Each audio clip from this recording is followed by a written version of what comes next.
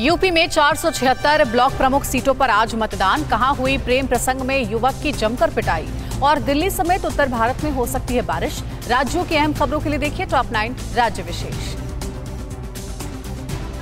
उत्तर प्रदेश के चार क्षेत्र पंचायतों में अध्यक्ष पद के लिए आज सुबह 11 से दोपहर 3 बजे तक मतदान होगा इसके बाद परिणाम घोषित किए जाएंगे कल नामांकन वापसी के आखिरी दिन तीन क्षेत्र पंचायत अध्यक्ष निर्विरोध निर्वाचित हुए मुख्यमंत्री बनने के बाद पहली बार उत्तराखंड के मुख्यमंत्री पुष्कर धामी आज दोपहर ग्यारह बजकर पैंतालीस मिनट पर प्रधानमंत्री नरेंद्र मोदी से मुलाकात करेंगे धामी दोपहर एक बजे राष्ट्रपति रामनाथ कोविंद दोपहर तीन बजे गृह मंत्री अमित शाह और शाम पाँच बजे रक्षा मंत्री राजनाथ सिंह से भी मिलेंगे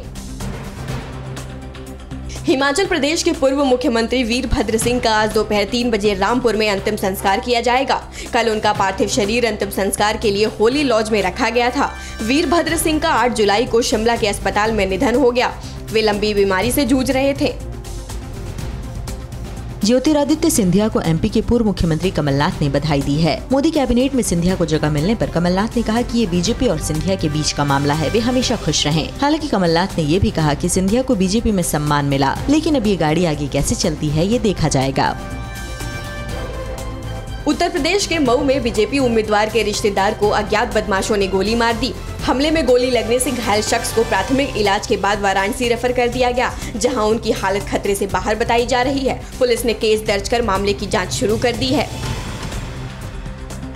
यूपी के कानपुर देहात में प्रेम प्रसंग के चलते लड़की के परिजनों ने युवक को बांध कर जमकर पीटा जिसे गंभीर हालत में अस्पताल में भर्ती कराया गया युवक की पिटाई का वीडियो सोशल मीडिया पर वायरल हो रहा है पुलिस ने पीड़ित की शिकायत पर केस दर्ज कर लिया है पंजाब के लुधियाना में घर के बाहर डॉगी घुमा रही महिला की चेन तोड़कर बाइक सवार बदमाश मौके से फरार हो गए ये पूरी घटना एक सीसीटीवी कैमरे में कैद हो गई पुलिस ने मामले की जांच शुरू कर दी है और जल्द से जल्द आरोपियों की गिरफ्तारी की बात कह रही है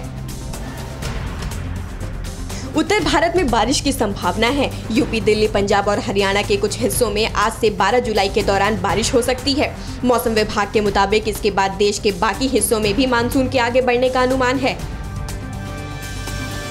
पुरी में श्रद्धालुओं के बिना रथ यात्रा के उत्सव भगवान जगन्नाथ के नव यौवन दर्शन के साथ शुरू हो गया